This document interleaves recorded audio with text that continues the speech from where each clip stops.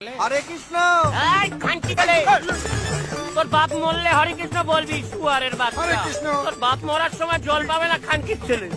তোর মা বেদব হবে রে শুয়ারের হরে বাচ্চা। কৃষ্ণ। হরে কৃষ্ণ মারাচ্ছে। হরে কৃষ্ণ। তোর- মায়ের হরে কৃষ্ণ। পেছনে ঢুকিয়ে দেবো কুত্তার বাচ্চা।